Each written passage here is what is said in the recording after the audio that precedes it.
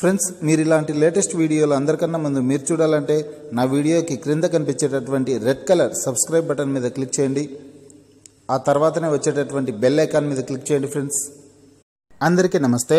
Friends Andhra Pradesh రాష్ట్రంలో గ్రామ సచివాలయం వార్డు సచివాలయం ఉద్యోగాల రాత పరీక్షలకు ఉపయోగపడేటటువంటి ముఖ్యమైన ప్రశ్నలను ఈ వీడియో ద్వారా తెలుసుకున్నాం.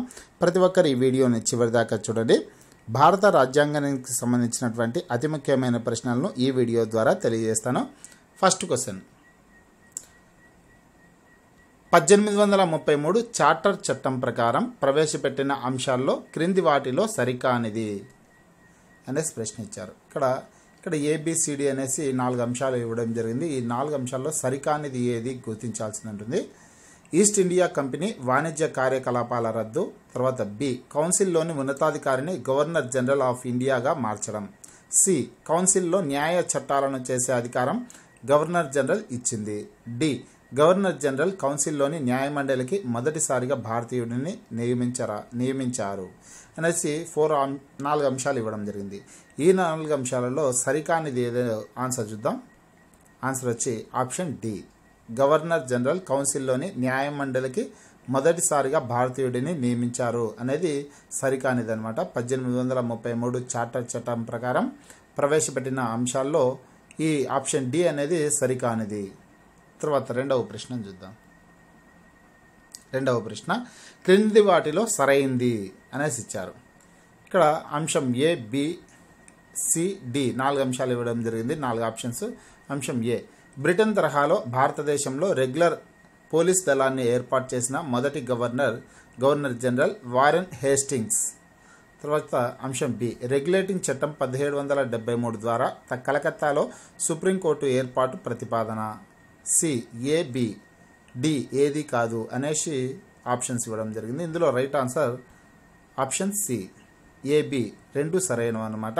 బ్రిటన్ తరహాలో భారతదేశంలో రెగ్యులర్ పోలీస్ దళాన్ని ఏర్పాటు చేసిన మొదటి గవర్నర్ జనరల్ వారెన్ హేస్టింగ్స్ ఇది సరైన అంశమే. తర్వాత బి రెగ్యులేటింగ్ చట్టం పదిహేడు వందల డెబ్బై మూడు ద్వారా కలకత్తాలో సుప్రీంకోర్టు ఏర్పాటు ప్రతిపాదన.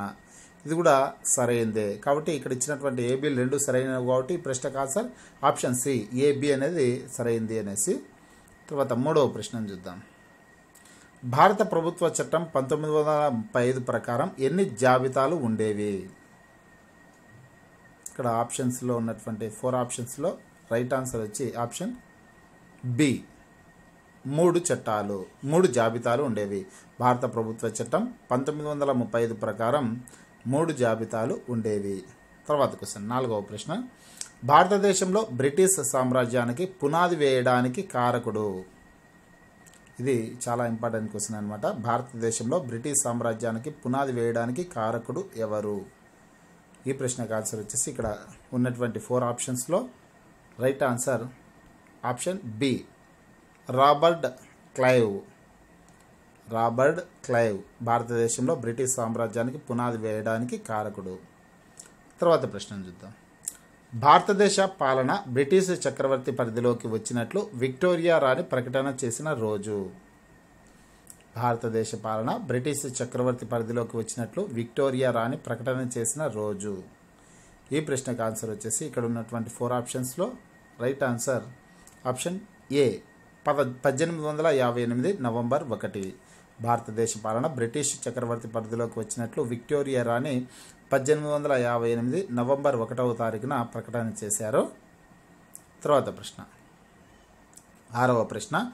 భారత ప్రభుత్వ చట్టం పంతొమ్మిది వందల పంతొమ్మిదిలోని ప్రధాన అంశం లేదా అంశాలు. ఇక్కడ ఏబిసి అనేసి మూడు అంశాలు ఇవ్వడం జరిగింది. ఇందులో ప్రధాన అంశాలని కనుక్కోవాలి. రాష్ట్రాల కార్యనిర్వాహక ప్రభుత్వంలో ద్వంద్వ పాలనను ప్రవేశపెట్టడం బి. కేంద్ర రాష్ట్ర ప్రభుత్వ అధికారాల నిర్వచనం సి. కేంద్ర రాష్ట్రాలకు శాసన నిర్మాణ అధికార సంక్రమణం డి. పైవన్నీ అనేసి ఆప్షన్స్ ఇవ్వడం జరిగింది. ఇందులో రైట్ ఆన్సర్ వచ్చి ఆప్షన్ డి రైట్ ఆన్సర్ అవుతుంది. ఇక్కడ ఇచ్చినటువంటి మూడు కూడా ప్రధానమైనవే ఏబిసి అనేటివి మూడు. రాష్ట్రాల కార్యనిర్వాహక కార్యనిర్వాహక ప్రభుత్వంలో ద్వంద్వ పాలన ప్రవేశపెట్టడం అలాగే కేంద్ర రాష్ట్ర ప్రభుత్వ అధికారాల నిర్వచనం కేంద్ర రాష్ట్రాలకు శాసన నిర్మాణ అధికార సంక్రమణం భారత ప్రభుత్వ చట్టం పంతొమ్మిది వందల తొంభైలో పంతొమ్మిది వందల పంతొమ్మిదిలోని ప్రధాన అంశాలు. తర్వాత ప్రశ్న చూద్దాం. పాలనలో భారతీయులకు ప్రా భాగస్వామ్యం కల్పించడానికి ఉద్దేశించిన మొదటి బ్రిటిష్ చట్టం. పాలనలో భారతీయులకు భాగస్వామ్యం కల్పించడానికి ఉద్దేశించిన మొదటి బ్రిటిష్ చట్టం ఏది? ఈ ప్రశ్నకు ఆన్సర్ వచ్చేసి ఇక్కడ ఉన్నటువంటి ఫోర్ ఆప్షన్స్లో right answer option A Indian council చట్టం పద్దెనిమిది వందల అరవై ఒకటి. ఇండియన్ కౌన్సిల్ చట్టం పద్దెనిమిది వందల అరవై ఒకటి. రైట్ ఆన్సర్ అవుతుంది. తర్వాత ప్రశ్న. గట్టి బ్రేకులు ఉండి ఇంజన్ లేని యంత్రంగా నెహ్రూ దేశాన్ని పేర్కొన్నారు. గట్టి బ్రేకులు ఉండి ఇంజన్ లేని యంత్రంగా నెహ్రూ దేశాన్ని పేరు దే సారీ గట్టి బ్రేకులు ఉండి ఇంజన్ లేని యంత్రంగా నెహ్రూ దేన్ని పేర్కొన్నారు? సారీ దేశాన్ని పేర్కొన్నారు అనేసి పొరపాటుగా చెప్పిన. ఇక్కడ నెహ్రూ దేన్ని పేర్కొన్నారు అనేసి ప్రశ్న ఇవ్వడం జరిగింది.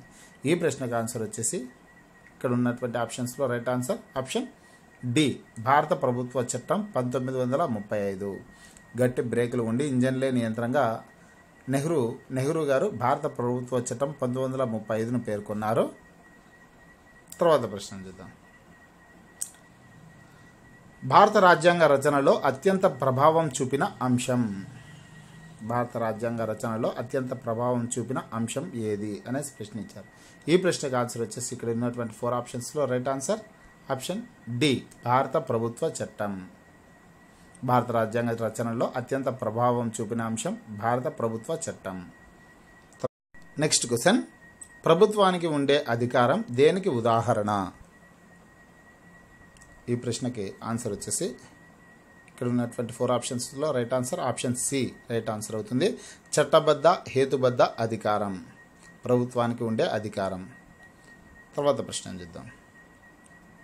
భారత రాజ్యాంగ పీఠికలోని భారత ప్రజలమైన మేము అనే పదాలు ఏ విషయాన్ని తెలియజేస్తాయి? భారత రాజ్యాంగ పీఠికలోని భారత ప్రజలైన మేము అనే పదాలు ఏ విషయాన్ని తెలియజేస్తాయి? అంటే ఆన్సర్ వచ్చేసి ఇక్కడ ఉన్నటువంటి ఫోర్ ఆప్షన్స్లో రైట్ ఆన్సర్. ఆప్షన్ బి ప్రజలే సార్వభౌములు అనే విషయాన్ని తెలియజేస్తాయి. తర్వాత క్వశ్చన్. సుప్రీంకోర్టు ఏ కేసులో తీర్పు చెబుతూ రాజ్యాంగంలో మౌలిక లక్షణాలు అనే అంశాన్ని స్పష్టీకరించింది. సుప్రీంకోర్టు ఏ కేసులో తీర్పు చెబుతూ రాజ్యాంగంలో మౌలిక లక్షణాలు అనే అంశాన్ని స్పష్టీకరించింది. ఆన్సర్ వచ్చేసి option D. Kesavananda Bharati case. Kesavananda Bharati case. తర్వాత ప్రశ్న ఇద్దాం భారత రాజ్యాంగం మొదట కల్పించిన ప్రాథమిక హక్కులు ఎన్ని? ఇది ఇంపార్టెంట్ క్వశ్చన్ అనమాట భారత రాజ్యాంగం మొదట కల్పించిన హక్కులు ఎన్ని? అంటే కదా ఆన్సర్ వచ్చేసి ఆప్షన్ బి. ఏడు హక్కులు. భారత రాజ్యాంగం మొదట కల్పించిన ప్రాథమిక హక్కులు ఏడు హక్కులు. తర్వాత ప్రశ్న. పదహారవ ప్రశ్న. ఏ తరహా ప్రభుత్వ విధానాన్ని భారత రాజ్యాంగం అవలంబించింది? ఏ తరహా ప్రభుత్వ విధానాన్ని భారత రాజ్యాంగం అవలంబించింది అనేసి ప్రశ్న ఇచ్చారు ఈ ప్రశ్నకు ఆన్సర్ వచ్చేసి ఆప్షన్ బి రైట్ ఆన్సర్ అవుతుంది. పార్లమెంటరీ తరహా ప్రభుత్వం. పార్లమెంటరీ తరహా ప్రభుత్వాన్ని ప్రభుత్వ విధానాన్ని భారత రాజ్యాంగం అవలంబించింది. తర్వాత ప్రశ్న పదిహేడవ ప్రశ్న. రాజ్యాంగంలో అస్పృశ్యత నిషేధాన్ని తెలిపే ఆర్టికల్. రాజ్యాంగంలో అస్పృశ్యత నిషేధాన్ని తెలిపే ఆర్టికల్ ఏది అంటే కనుక ఆన్సర్ వచ్చేసి ఆప్షన్ డి పదిహేడవ ఆర్టికల్ రాజ్యాంగంలో అస్పృశ్యత నిషేధాన్ని తెలిపే ఆర్టికల్ పదిహేడవ ఆర్టికల్ తర్వాత ప్రశ్న. ప్రభుత్వ ఉద్యోగాల్లో బీసీలకు రిజర్వేషన్ సౌకర్యాన్ని కల్పించిన ఆర్టికల్ ఆన్సర్ ఆప్షన్ బి పదహారు నాలుగు ఆర్టికల్ ప్రభుత్వ ఉద్యోగాల్లో బీసీలకు రిజర్వేషన్ సౌకర్యాన్ని కల్పించినటువంటి ఆర్టికల్ వచ్చేసి పదహారు నాలుగు. తర్వాత ప్రశ్న.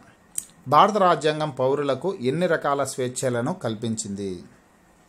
భారత రాజ్యాంగం పౌరులకు ఎన్ని రకాల స్వేచ్ఛలను కల్పించింది? అంటే కదా ఆన్సర్ వచ్చేసి ఆప్షన్ సి ఆరు.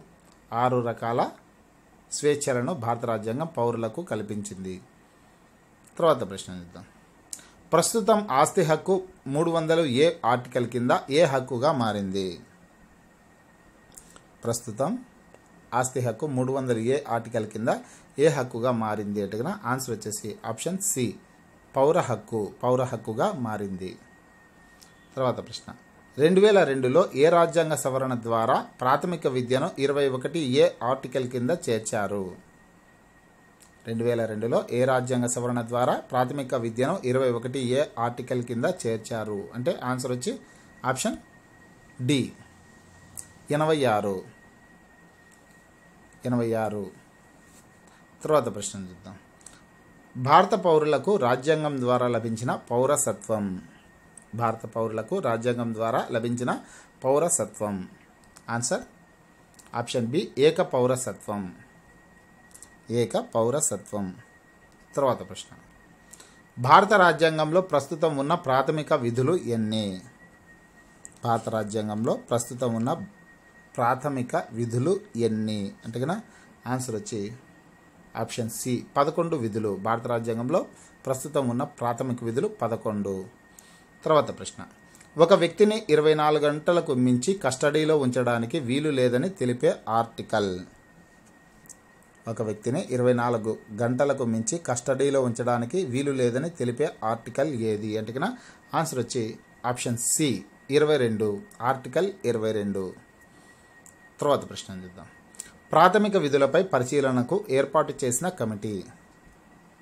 ప్రాథమిక విధులపై పరిశీలనకు ఏర్పాటు చేసిన కమిటీ ఏది అంటే ఆన్సర్ వచ్చి option A Swaran Singh committee. Swaran Singh కమిటీని ఏర్పాటు చేశారనమాట తర్వాత ప్రశ్న చూద్దాం భారత రాజ్యాంగం ప్రకారం దేశంలో ఉమ్మడి పౌర స్మృతిని అమలు చేస్తున్న ఏకైక రాష్ట్రం. ఆన్సర్. ఇక్కడ ఇచ్చినటువంటి ఫోర్ ఆప్షన్స్లో right answer. Option C Goa భారత రాజ్యాంగం ప్రకారం దేశంలో ఉమ్మడి పౌర స్మృతిని అమలు చేస్తున్న ఏకైక రాష్ట్రం గోవా రాష్ట్రం. తర్వాత ప్రశ్న. ఏ ప్రధానమంత్రి హయాంలో ప్రాథమిక విధులను భారత రాజ్యాంగంలో చేర్చారు?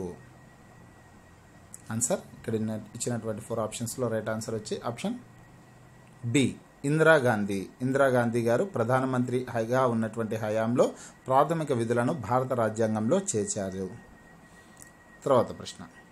ప్రపంచంలో ఆదేశిక సూత్రాలను మొదటిసారిగా ఏ దేశంలో రూపొందించారు? ప్రపంచంలో ఆదేశిక సూత్రాలను మొదటిసారిగా ఏ దేశంలో రూపొందించారు అంటే కనుక ఈ ప్రశ్నకు ఆన్సర్ వచ్చేసి ఆప్షన్ బి స్పెయిన్. స్పెయిన్ దేశంలో రూపొందించారు. తర్వాత ప్రశ్న.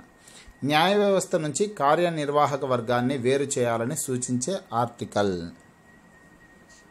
న్యాయ వ్యవస్థ నుంచి కార్యనిర్వాహక వర్గాన్ని వేరు చేయాలని సూచించే ఆర్టికల్ ఏది అంటే ఆన్సర్ వచ్చి ఆప్షన్ బి యాభై ఆర్టికల్ యాభై.